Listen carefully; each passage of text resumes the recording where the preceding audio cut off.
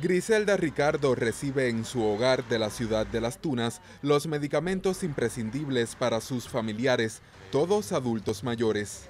El servicio de mensajería lo ofrecen las farmacias de este territorio oriental a la población vulnerable para evitar la propagación de la COVID-19. Nosotros somos un núcleo familiar de tres personas mi esposo de 75 años, yo de 71 y mi mamá que muy pronto cumplirá ya sus 106 años. En este momento no podemos salir, pero nos tuvieron siempre en cuenta la administradora de la farmacia, salud, eh, la federación, el CDR también. Como un señor que tenemos de 95 años, se visitó, ya ese señor sabe que él no tiene que venir a la, a la unidad, que cuando entre el medicamento, principalmente los de enfermedades crónicas, ya ese servicio nosotros automáticamente ya llevamos, sabemos lo que lleva el paciente, hacemos la mensajería y se la llevamos a su casa. Además, en la red de farmacias de la ciudad de Las Tunas no se detiene la venta de hipoclorito de sodio al 1%, ni su producción en los laboratorios de medicina natural y tradicional localizados en varios municipios. El hipoclorito al 1% siempre tenemos en existencia en nuestra unidad para que llegue a la población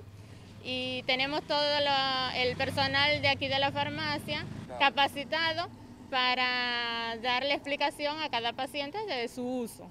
Al servicio de mensajería que ofrecen hoy las farmacias en la provincia se sumarán como apoyo imprescindible las brigadistas sanitarias de la Federación de Mujeres Cubanas. Gianni López Brito, LTV Noticias.